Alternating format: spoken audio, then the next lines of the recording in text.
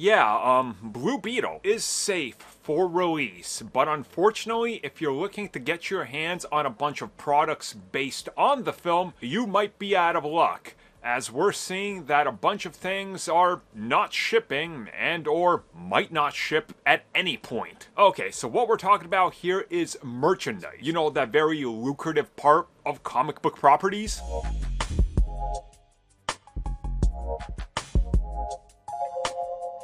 Store shelves are not seeing a whole lot of stock when it comes to Blue Beetle products. You would think they would, but it's just not there.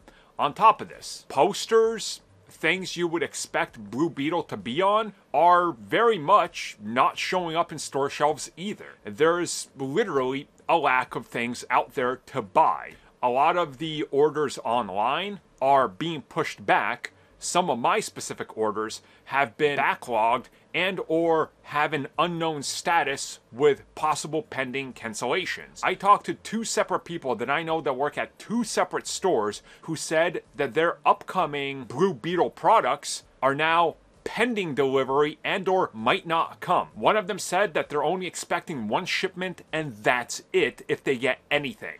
I honestly don't know what's going on here, why they're doing this. Something tells me that production of various things has probably slowed down and they're looking to offset some of the losses from action figures based on the Flash by not shipping these out and possibly just liquidating and taking a tax write off, which wouldn't really surprise me. You can do that with action figures and various other things as well. So, say for example, let's just say hypothetically, they spent $10 million on producing products that they're going to sell. If they destroy them and write them off, they get the 10 million back. Guaranteed money. WB Discovery has been doing this. So, unfortunately, um, if you're looking for Blue Beetle products, if you see it on store shelves and think about passing it up, might want to think again because it might not be there ever again.